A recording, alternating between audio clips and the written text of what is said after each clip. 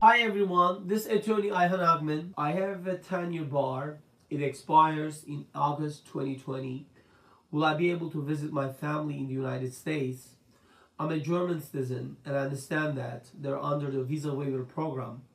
Or do I need a visa and are what my chances of getting one slim? Are my chances are slim that he's asking. I was brought to the US by my family at the age of four. They overstay and I sadly I was affected. Well, I'm very sorry that you were affected with this without you know your it was not your decision. You have a 10 year bar, so you're gonna have to wait until that expires. When it expires, which you stated is August of 2020, and after that you're going to be able to apply for visa to United States you might not be qualified anymore or you might not be able to use visa waiver program or ESTA because there was a violation of status when you were back in the US. You're going to be able to apply for US, you know, visa again through the consulate.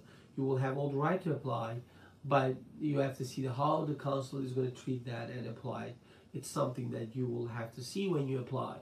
So, what I could say that I think that could be great argument on your side if you can show the consulate after your bar time passes that you know it was not your decision you happened but you know now you have work and life in germany but you just want to come here for visit friends or family which should be okay uh, for you to be able to actually get your visa to come here